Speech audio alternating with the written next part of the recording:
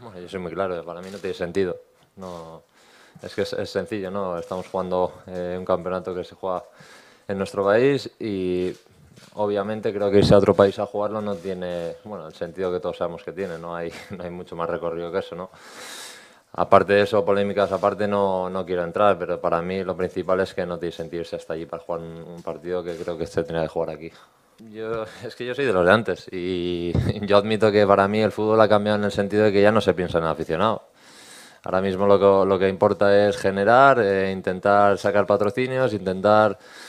Y creo que nos estamos olvidando un poco de lo básico que es el fútbol, ¿no? que es ese, pues ese ambiente que, que hace que, los partidos sean diferentes, que la afición disfrute en un partido con la familia, que los horarios sean eh, lo más cómodos posible para todos. Bueno, es que no es que lo diga yo, yo creo que se ve, ¿no? Es una cosa que a mí es mi trabajo, yo me dedico a hacer esto, pero obviamente de cuando yo empecé ahora ha cambiado en ese sentido mucho y bueno, a mí me da pena, no, no te voy a engañar.